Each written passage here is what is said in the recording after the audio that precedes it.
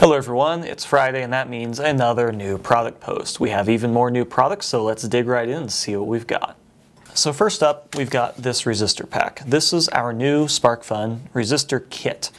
This includes 25 different values with 20 each of the most common resistors you could find. So you get a total of 500 resistors, and they're all in this relatively handy to use little cardboard pouch. And we even include a resistor chart to show you what the different values are. Now they did get a little banged up in shipping, but it's just a cardboard, so it should be perfectly fine.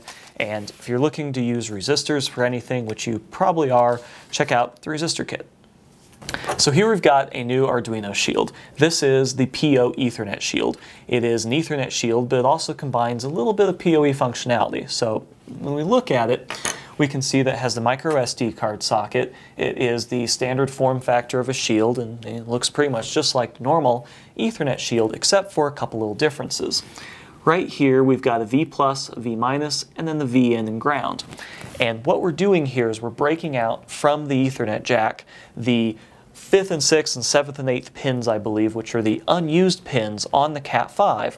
So since those are broken out, you can actually just simply jumper them to V in and jumper them to ground. And when you inject power over your Ethernet, you can actually inject power then into the shield and thusly into your Arduino. So if you're using something like the PoE cable sets that we have, all you would do is plug this directly into the Ethernet, jumper these pins, which would power your Arduino. And then you would plug one of these into your Ethernet jack and then plug in power and boom, you have a line to power your Ethernet shield and your Arduino. So it's pretty simple to use.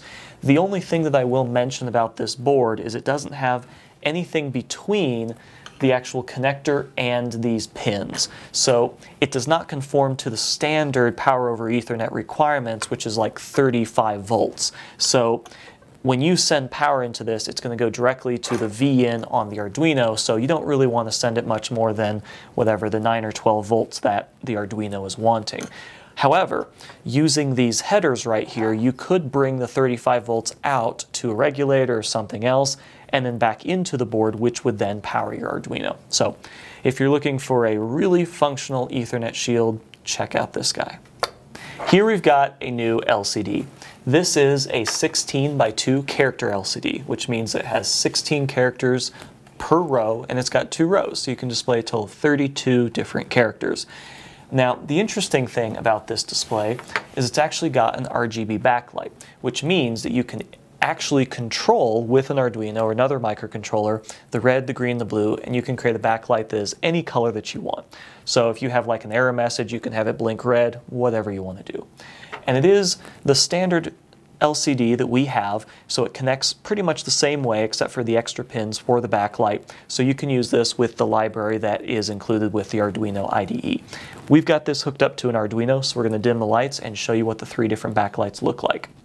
So as I said, you hook this up the standard way that the Arduino library shows you, and we've got it on, and we've got it on blue. Press a button, that's red, and that's green. And of course you can mix all these colors to create any color you want for the backlight. So there you have it, another Friday new product post. We've got the LCD, we've got the Ethernet shield, and we even have 500 resistors in a cardboard pack. So check out the rest of the new product post. We have even more on the website, and we'll see you again next week with even more new products.